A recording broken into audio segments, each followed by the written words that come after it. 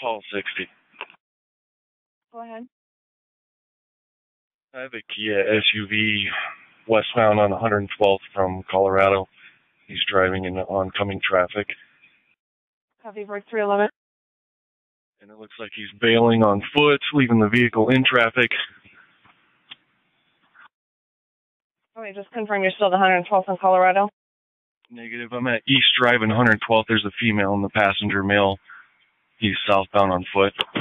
Copy for 311. Copy. I'm en route. Thornton 911, what's the location of your emergency?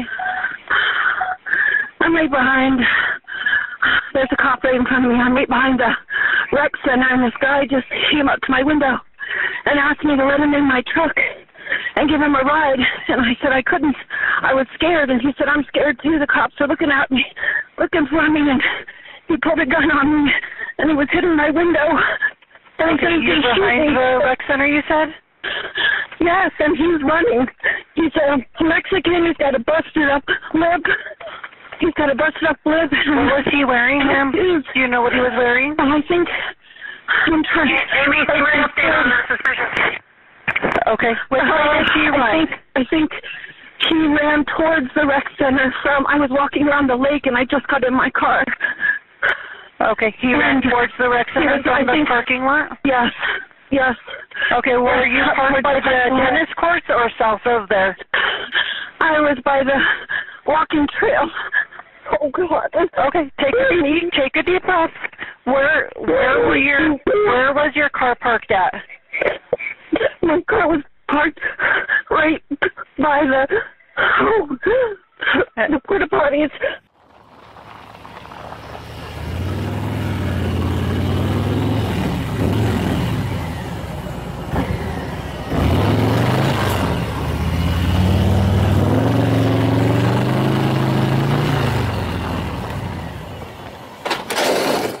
There we go!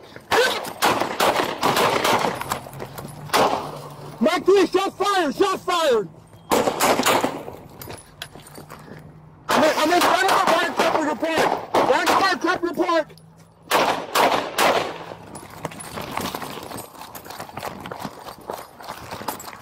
Mike 3, he's running southbound.